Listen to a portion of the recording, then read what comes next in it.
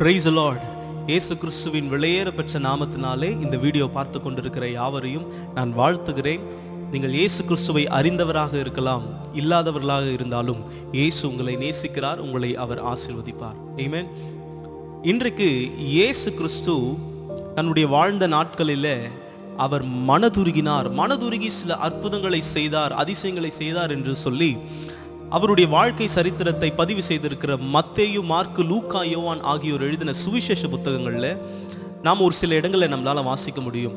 அதில் ஒரு சம்பவத்தை எடுத்து இன்றைக்கு கொஞ்சம் உணர்வு பூர்வமாக ஒரு சில வெளிப்பாடோடு கூட சரித்திர பின்னணியத்தோடு கூட இன்றைக்கு நாம் வாசிக்க போகிறோம் தியானிக்க போகிறோம். ஏமேன் ஹலலூயா மார்க் ஒன்றாம் அதிகாரம் நாற்பதாம் வசனத்திலிருந்து நாற்பத்தி ஐந்தாம் வசனம் வரையும் இருக்கிற ஒரு சம்பவத்தை நாம் இன்றைக்கு தியானிக்கலாம். எல்லாரும் வாசிச்சிருப்போம்.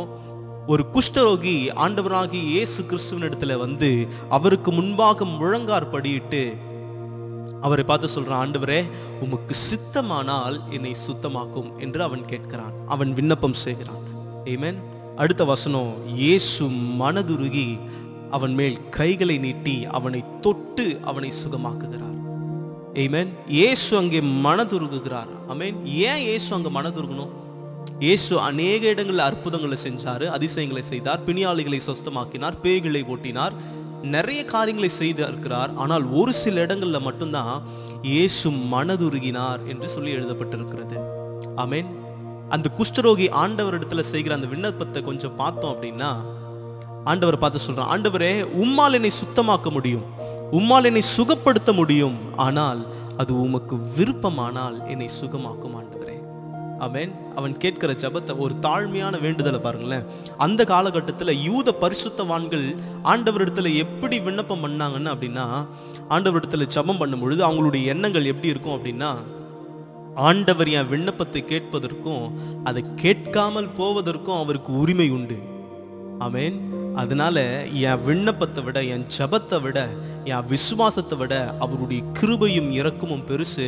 அதனால் எல்லாருடைய ஜெபத்திலும் யூதருடைய பரிசுத்தவான்களுடைய ஜபத்தில் அவருடைய கிருபையை அவருடைய இரக்கத்தை அவர்கள் கேட்டார்கள். ஆமேன். அதே ஜெபத்தை தான் இங்கே இந்த குஷ்டரோகியும் இயேசு கிறிஸ்துவை பார்த்து கேட்கிறார். ஆண்டவரே நீங்க என்ன சுகமாக்குமால் கூடும் ஆனால் அது உமக்கு விருப்பம் என்றால் என்னை சுகமாக்குங்க. நான் உங்க இரக்கத்தை விரும்புறேன் ஆண்டவரே என்று சொன்ன உடனே இயேசு மனதுருகினார். ஆமென் இயேசு மனதுருகி என்ன செஞ்சாரு தெரியுமா? நியாயப்பிரமாணம் சொல்லுகிறது குஷ்டரோகிகள் தீட்டுள்ளவர்களாக கருதப்பட வேண்டும் அவர்கள் தனிமைப்படுத்தப்பட வேண்டும் அவர்கள் மக்கள் வாழுகிற இடத்துல வாழக்கூடாது பாளையத்திற்கு புறம்பாக வாழ வேண்டும். அவர்கள் தேவாலயத்திற்குள்ளாக வரக்கூடாது மக்கள் புழங்குகிற இடத்துல வரக்கூடாது. அவர்கள் ஒதுக்கப்பட்டார்கள் தீட்டுள்ளவர்களாக கருதப்பட்டார்கள். யூத பாரம்பரியம் என்ன சொல்லுது தெரியுமா? குற்ற குஷ்டரோகிகள் எல்லாம் பாவிகள் என்று சொல்லப்பட்டது.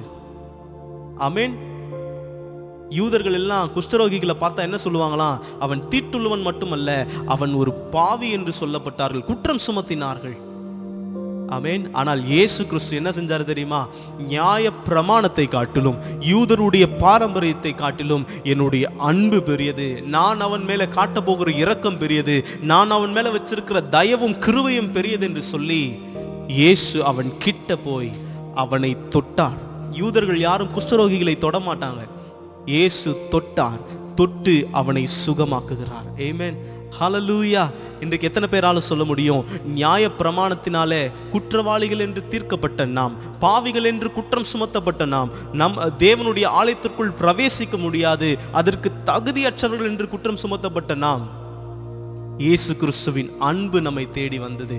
அமேன் இயேசு கிறிஸ்துவின் இறக்கம் என்ன செஞ்சது? நம்மை அவருடைய மகா பரிசுத்த ஸ்தலத்திற்குள்ளாய் கொண்டு சேர்க்கிற ஒரு பெரும் வாக்கியத்தை உண்டு பண்ணியது. அந்த குஷ்டரோகி அன்றைக்கு சுகமானானே. இன்றைக்கு நாம் அவருடைய இரத்தத்தினாலே அவருடைய கிருபையினாலே அவருடைய அன்பினாலே சுத்தமுள்ளவர்கள் பரிசுத்தமுள்ளவர்கள் என்று எண்ணப்படுகிறோம். அன்றைக்கு அவன் சந்தோஷமா தேவனுடைய ஆலயத்திற்குள்ளாய் பிரவேசிச்சிருப்பான். இன்றைக்கு நாம் அவருடைய மகா பரிசுத்த ஸ்தலத்திற்குள்ளாய் பிரவேசித்து நம் தேவனை ஆராதிக்கக்கூடிய மிகப்பெரிய பாக்கியம் நமக்கு உண்டாயிருக்கிறது. எத்தனை பேரால சந்தோஷமா சொல்ல முடியும்? ஆண்டவரின் கிட்டே வந்தார் என்னை அவர் தொட்டார். அவருடைய அன்பு என்னை பரிசுத்தவானாய் மாற்றியது. ஆமென் இந்த சம்பவத்துல அவனுடைய உணர்வு எப்படி இருந்திருக்கும்? அந்த அந்த குஷ்டரோகியோட உணர்வு எப்படி இருந்திருக்கும்னு யோசிச்சு பாருங்களேன். இவ்வளவு நாள் நான் தீட்டுள்ளவன் என்று எண்ணப்பட்டேன். இவ்வளவு நாள் பாவி என்று சொல்லப்பட்டேன். இவ்வளவு நாள் யாரும் என்னை தொடலை. இவ்வளவு நாள் நான் ஒதுக்கப்பட்டேன் தனிமைப்படுத்தப்பட்டேன். இவ்வளவு நாள் தேவாலயத்துக்குள்ள என்னால் பிரவேசிக்க முடியாமல் இருந்துச்சு. இன்றைக்கு இயேசு என் வாழ்க்கையில் வந்ததுனால நான் பரிசுத்தவனாக நான் சுகமுள்ளவனாக நான் சுத்தமுள்ளவனாக மாற்றப்பட்டு இருக்கிறேன் என்று சொல்லி எவ்வளவு சந்தோஷமாக இருந்திருப்பான். ஏமேன் இன்றைக்கு அப்படிப்பட்ட சந்தோஷத்தை ஆண்டவர் நம்முடைய வாழ்க்கையிலும் கொடுத்திருக்கிறார். எத்தனை பேரால சொல்ல முடியும்? என் ஏசு என் வந்ததுனால நான் சுத்தமுள்ளவனாய் மாறியிருக்கிறேன். என் ஏசு என் வந்ததுனால நான் பரிசுத்தவான் என்று சொல்லப்பட்டிருக்கிறேன். இவ்வளவு நாள் என்னை பாவி என்று சொன்ன உலகம் என்னை இன்றைக்கு பரிசுத்தவானாய் பார்க்கிறது. பரலோகம் என்னை பரிசுத்தவானாய் பார்க்கிறது. நியாய பிரமாணத்தினால் குற்றப்பாளிகள் என்று தீர்க்கப்பட்டோம். ஏசு கிறிஸ்துவின் ரத்தத்தினாலே ஏசு கிறிஸ்துவின் கிருபையினாலே அவருடைய அன்பினாலே இன்றைக்கு பரிசு பரிசுத்தவான்கள் என்று பார்க்கப்படுகிறோம். எவ்வளவு பெரிய இரக்கம். அந்த இரக்கத்தை பாடாமல் இருக்க முடியுமா? இயேசு என் மீது மனதுருகினார். ஏமேன் என்னோடு கூட சேர்ந்து இந்த கவியை பாடி ஆண்டவருடைய நாமத்தை மகிமைப்படுத்துவீங்களா? மனம் இறங்கும் தெய்வம் இயேசு. சுகம் தந்து இன்றைக்கு எல்லோரையும் நடத்துவார் என்று சொல்லி. மனம் இறங்கும் தெய்வம் இயேசு.